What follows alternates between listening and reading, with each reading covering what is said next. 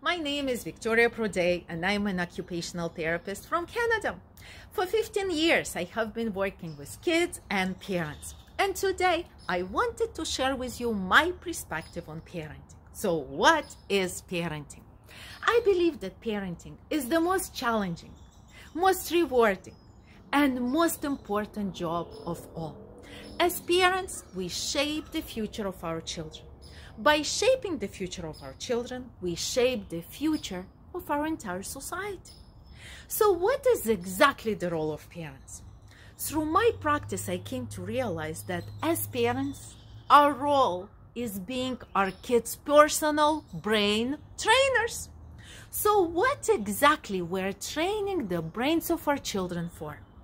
I think every parent on this planet will agree with me we are training the brains of our children for success in life.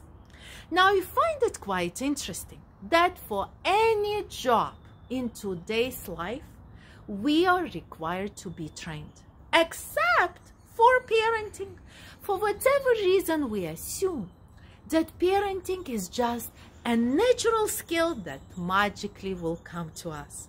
And as a therapist of 15 years of practice in parenting field, I can tell you, parenting requires enormous amount of skill.